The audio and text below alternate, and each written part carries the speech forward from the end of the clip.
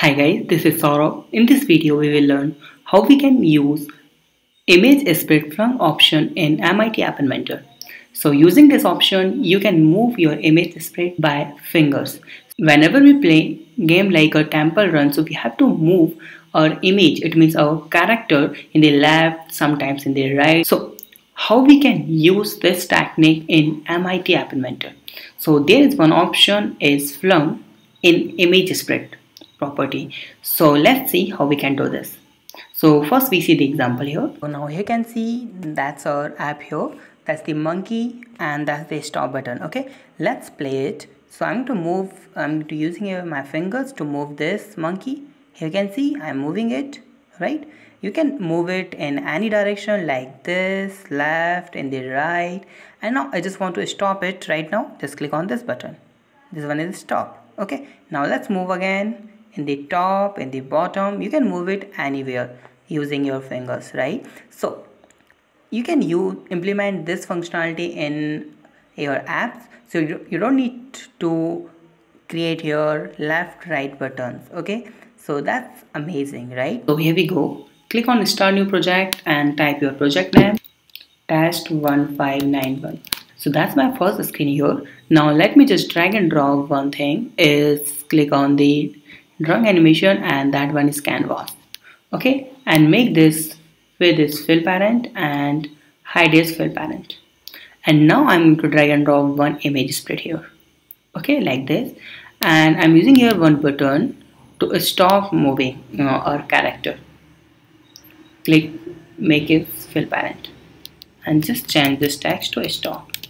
Now I'm going to change this canvas background color click on canvas background image click on upload file click on choose file. Okay and i'm using this one background. And click on this image sprite and make this height is 200 pixel and make this width is 200 pixel. And let's click on this picture option click on upload file click on choose file. And i'm going to upload this monkey here.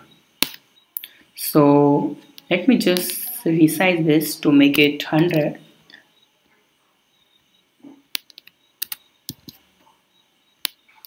like this.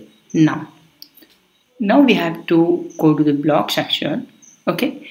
And here you will find click on image sprite and you can see here flung option when image sprite dot flung. So drag and drop this.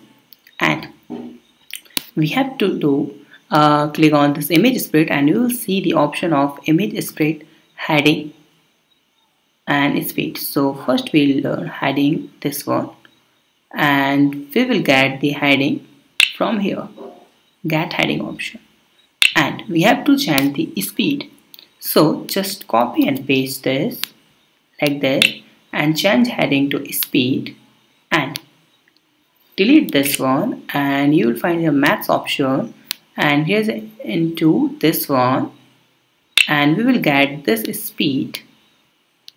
Just get speed and multiply by 8 to 3 okay like this.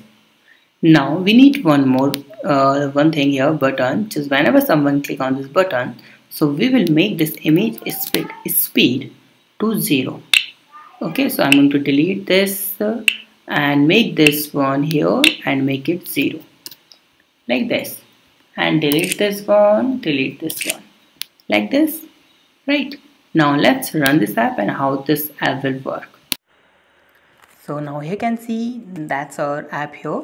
That's the monkey and that's the stop button. Okay. Let's play it. So i'm going to move i'm going to using my fingers to move this monkey. Here you can see i'm moving it.